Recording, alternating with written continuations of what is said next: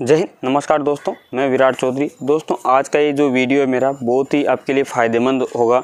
आप सभी के लिए ये फ़ायदेमंद होगा, क्योंकि आज का जो मैंने वीडियो बनाया है, ये बनाया है सीन पेन कि जितने भी मेरे भाई छोटे या गर्ल्स जितनी मेरी बहनें जो तैयारी कर रही है, आर्मी एस एस या किसी भी फोर्स की, वो डेली रनिंग करते हैं, डेली फ़िज़िकल एक्सरसाइज करते हैं।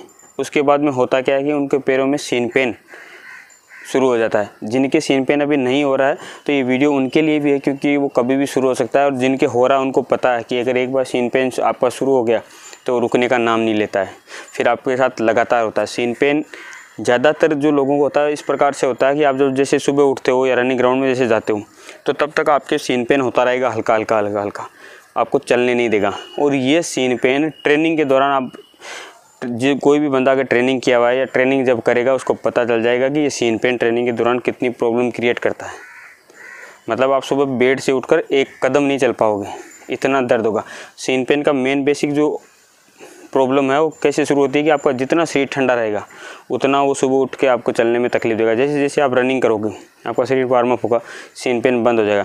लेकिन जैसे आप स्प्रिंट मारने की कोशिश करोगे, वापस आपका सीन पेन उसी लेवल पे आके आपको तकलीफ़ देगा। जो ये वाली हड्डी होती है, इधर, जैसे आप रनिंग स्टार्ट करोगे, इसमें दर्द शुरू हो जाएगा, दोनों साइड में। आपको ऐसा लगेगा जैसे करेक हो रखी है, लेकिन ये करेक नहीं होती। इसमें होता क्या सीन पेन बोलते किसको है?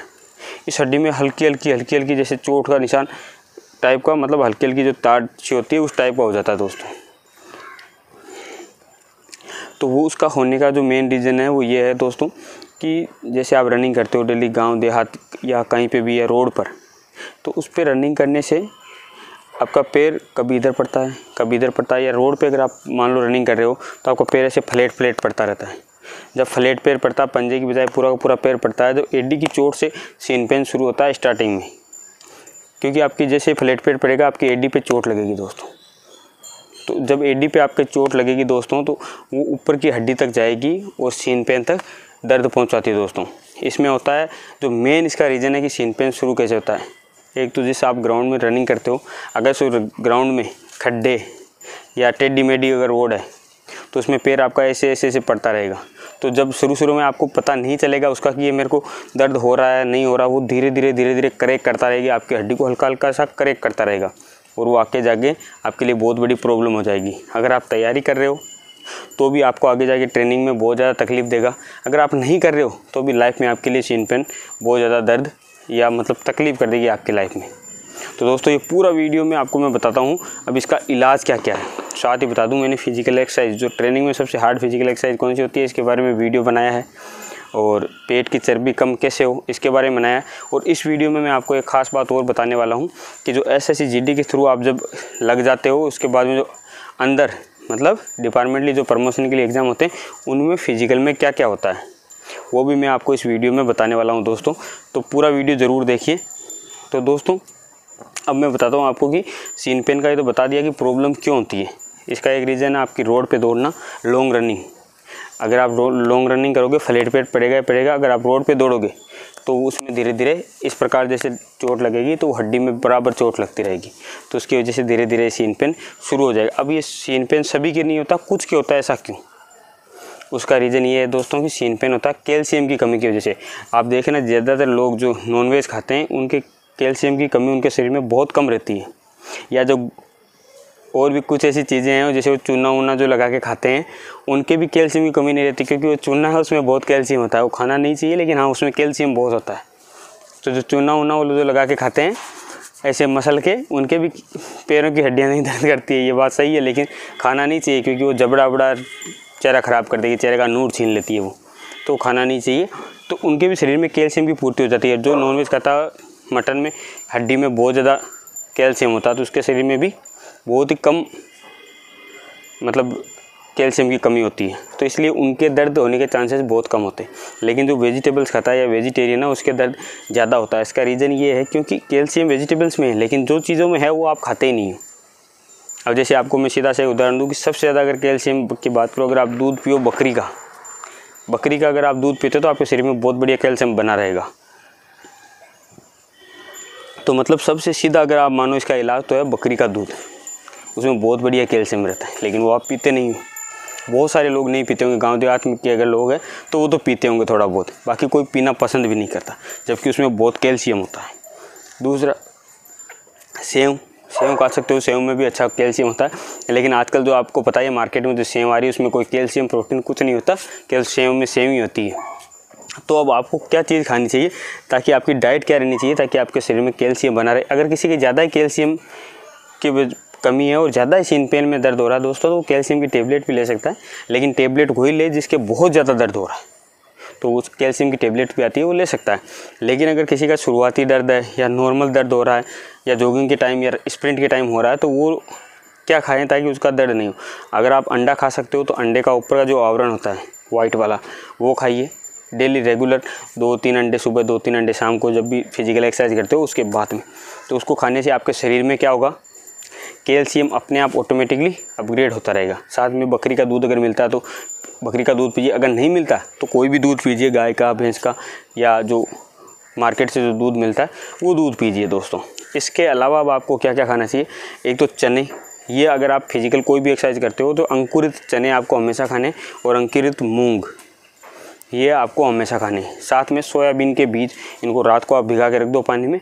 और सुबह फ़िज़िकल एक्सरसाइज होने के बाद में ये ज़रूर खाने दोस्तों, क्योंकि इनमें प्रोटीन की मात्रा अच्छी होती है और साथ में आपका कैल्शियम की डाइट चलती रहेगी, जैसे अंडा हो गया, बकरी का दूध हो गया, सेव हो गया तो इनसे भी आपके शरीर में कैल्शियम जल्दी बनेगा दोस्तों।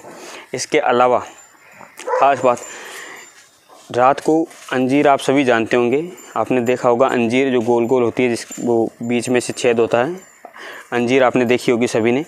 तो अंजीर को क्या करना है दोस्तों, रात को दूध में अगर दूध हो हो सके तो दूध में गर्म दूध करना है, एक गिलास। या आधा गिलास जितना आपके पास है, उतना गर्म दूध करना है, उसमें दो अंजीर रात को भिगो दो दोस्तों। सुबह उसी दूध को, दूसरे जो आप दूध पीते हो, उसमें मिक्स करके अंजीर खा लेना और दूध को पी लेना है। उससे आप देखना, आपके शरीर में एक अलग सी ऊर्जा आएगी। आप ये करना केवल 20 दिन, ये डाइट फॉलो करना कि आपको अंजीर, चने, मूंग और सोयाबीन के बीज। और सुबह जब दूध पीते हो तो उससे कम से कम दो अंजीर। ज़्यादा से ज़्यादा तीन या चार ले सकते हो, लेकिन कम से कम दो अंजीर। आप उस दूध में मिलाइए, रात को गर्म दूध में भिगाइए, ऊपर कुछ ना कुछ लगा के भिगा के रख दीजिए। सुबह आपको पीना है। आप देखोगे आपके धीरे धीरे धीरे धीरे ये, आप ये प्रोसेस केवल 20 दिन आपको फॉलो करनी है। आप देखना, आपकी धीरे धीरे धीरे धीरे सिंपोल का दर्द गायब हो जाएगा दोस्तों। और बकरी का दूध मिल सके तो बकरी का दूध ज़रूर पीना नहीं तो कोई भी दूध पियो, साथ में अगर अंडा खाते हो तो अंडा खा सकते हो, बाकी सेव भी आप खा सकते हो। इनसे भी आपका जल्दी हो जाएगा। इस सिन पेन का दर्द है, वो बिल्कुल मतलब धीरे धीरे धीरे धीरे आपका गायब होने पर हो जाएगा। अब दोस्तों, अगर बात करें हम, कईयों का वेट ओवर वेट हो रहा है, बहुत ज़्यादा तो उनको फ़िज़िकल एक्सरसाइज के बाद में क्या पीना चाहिए, क्या खाना चाहिए दोस्तों? तो कई लोग क्या करते हैं फ़िज़िकल एक्सरसाइज बहुत ज़्यादा करते हैं, उसके बाद में खाते पीते नहीं वेट कम करने के चक्कर में। नहीं दोस्तों, ऐसा नहीं करना। अगर आप ऐसा करोगे तो आपका शरीर बहुत कमज़ोर हो जाएगा मतलब आपके शरीर में जान नहीं रहेगा, एनर्जी नहीं रहेगी, बिल्कुल चमड़ी, स्वस्थ हो मतलब सूखी सूखी सी दिखेगी तो उससे कोई फ़ायदा नहीं है। क्योंकि जब आप खाना शुरू करोगे, वापस वेट बढ़ जाएगा। जो लोग वेट कम करने के लिए खाना छोड़ते हैं ना, वो लोग जब वापस खाना खाने लगते हैं तो वेट वापस बढ़ जाता है। तो दोस्तों, ऐसा नहीं करना है। खाना खाना नहीं छोड़ना। हाँ डाइट प्लान थोड़ा सही रूप से करना है। करना क्या है? सुबह का नाश्ता बढ़िया से लो। रनिंग वनिंग या फ़िज़िकल एक्सरसाइज करते हो, उसके बाद बढ़िया से लो। दोपहर का खाना नॉर्मल लो और शाम का खाना थोड़ा कम कर दो। तो अगर उससे ये आपका डाइट प्लान रखना ताकि आपका वेट धीरे धीरे कम होगा। साथ में क्या करना जब भी आप फ़िज़िकल एक्सरसाइज करो, कोई भी, यानी रनिंग या एक्सरसाइज चेस्ट के एक्सरसाइज कोई भी एक्सरसाइज करो, उसके दौरान आपको नींबू पानी पीते रहना है सुबह सुबह आप देखिए आपका 10 से 12 दिन या 15 दिन के अंदर कितना वेट लूज होता है, आप खुद बता दोगे मेरे को। कमेंट बॉक्स में ज़रूर आके वापस जब आपका हो जाए तो आप बताना। नींबू पानी बनाना है, एक बोतल नींबू पानी का लेके उसको बनाना बिल्कुल मीठा बना सकते हो। नींबू पानी बना के, मीठा नहीं तो केवल नींबू पानी बना सकते हो। और उसको जैसे रनिंग करने के बाद में पी लो दो घूंट। एक्सरसाइज कर रहे हो, उसके दौरान पीते रहो। मतलब एक्सरसाइज के दौरान आपको लगातार वो नींबू पानी पीना है। जितना आप नींबू पानी पीते रहोगे, एक से दो लीटर एक लीटर मतलब कम से कम पीना है उस समय तो आपका वेट अपने आप लूज हो जाएगा दोस्तों। गारंटी मेरी आपका वेट कम होगा, आपको खाना छोड़ने की ज़रूरत नहीं होती। अब मैं आप बात करूँ डिपार्टमेंटली जो एग्ज़ाम होते हैं, उनमें फ़िजिकल एक्सरसाइज में क्या क्या होता है?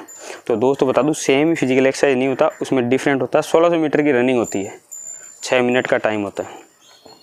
डिपार्टमेंटली एग्ज़ाम जब होता है तो उसमें सबसे पहले फ़िज़िकल होता है और फ़िज़िकल में सोलह सौ मीटर की रनिंग छः मिनट टाइम होता है। हाई जंप एक सौ बीस मीटर, एक सौ बीस सेमी 120 सेमी का हाई जंप होता है दोस्तों।